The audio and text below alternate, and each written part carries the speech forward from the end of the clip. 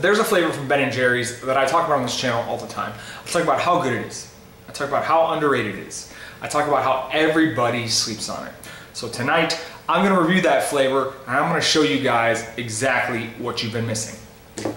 Tonight, I'm having Ben & Jerry's Boston Cream Pie. For those of you unaware, it is Boston cream pie ice cream with yellow cake pieces, fudge flakes, and swirls of pastry cream. Basically an ice cream version of a Boston cream pie.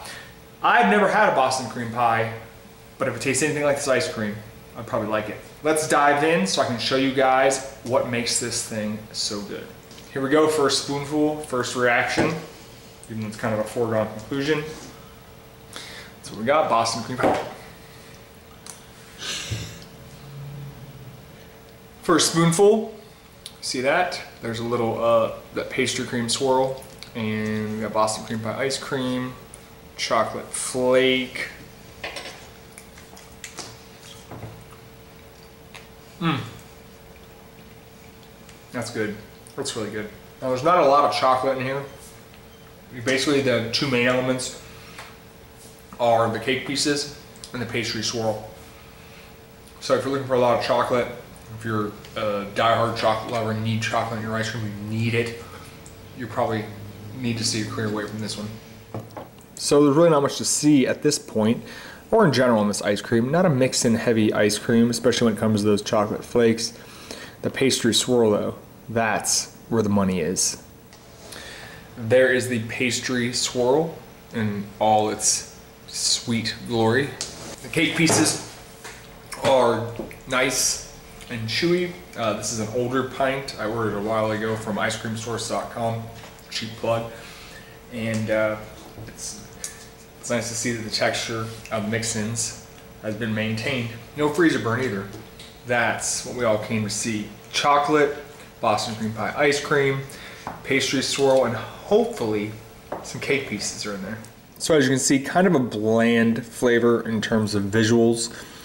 There's not a lot of chocolate. The mix-ins almost uh, blend in to the ice cream.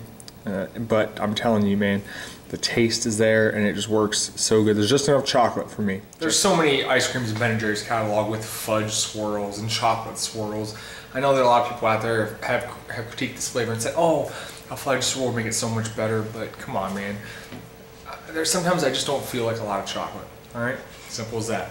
Sometimes I just feel like eating a lot of pastry cream, like that. Summing things up, it's kind of anticlimactic. You guys know where I'm going with this. I I love this flavor. I know some people aren't huge fans of it. Some a lot of people haven't even had it, but I think this is one of the best Ben & Jerry's flavors in their current rotation.